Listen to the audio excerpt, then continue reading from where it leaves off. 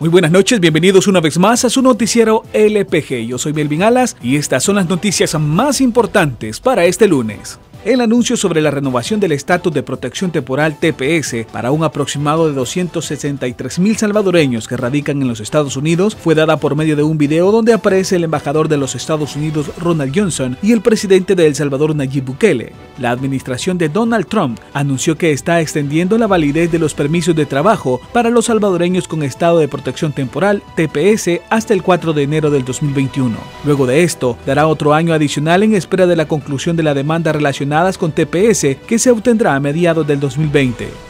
José Edgardo Medina Madrid, de 24 años, y Lilian Paola Maravilla Aguilar, de 17, quienes eran pareja y habían procreado a Elías Guillermo Medina Aguilar, de tan solo 8 meses de nacido, perdieron la vida en su casa de habitación ubicada en el barrio El Tránsito del municipio de El Congo, en Santa Ana. Según informaron las autoridades, las tres personas quedaron soterradas luego de que un muro de la casa donde vivía colapsara por la lluvia registrada la noche del domingo 27 de octubre y parte de la madrugada del lunes 28.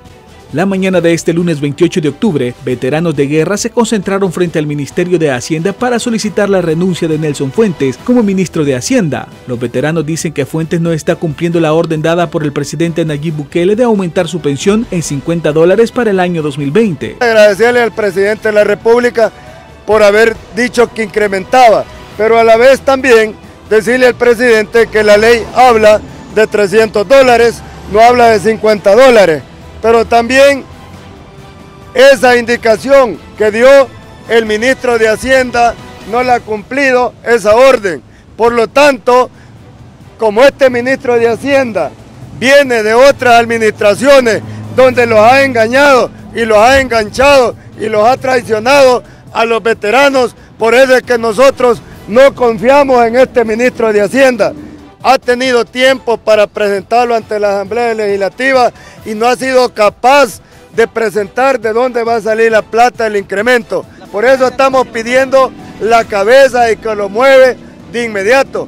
Y así como muchos ministros que le están falseando datos, señor presidente, ya es tiempo que usted ponga su propio gabinete y que no tenga estos funcionarios que vienen de otras administraciones que lo están dejando muy mal. Por su parte, el titular de Hacienda dijo en su visita a la Asamblea Legislativa que está buscando el financiamiento para el aumento a la pensión de los veteranos de guerra, asegurando que dichos fondos no saldrán de la deuda pública ni de ahorros del presupuesto del 2019. Vendedores del mercado 1 y 2 de San Miguel denunciaron que los pandilleros usan vestimenta de predicadores, fingen ser vendedores y hasta usan a menores de edad para extorsionarlos. Los comerciantes afirman que esta práctica no es nueva y que se está haciendo frecuente ya que en el lugar pasa un hombre supuestamente evangelizando. Llega hasta donde está el comerciante, le abre la Biblia y ellos ya saben que deben poner entre las hojas lo que pagan de renta. Ellos afirman que pagan hasta 5 dólares diarios para poder resguardar sus vidas y poder vender en la zona.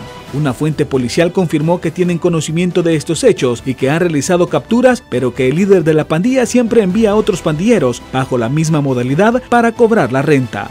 Muchísimas gracias por haberse informado con nosotros en una emisión más de Noticiero LPG. Los esperamos el día martes con más información. Hasta la próxima.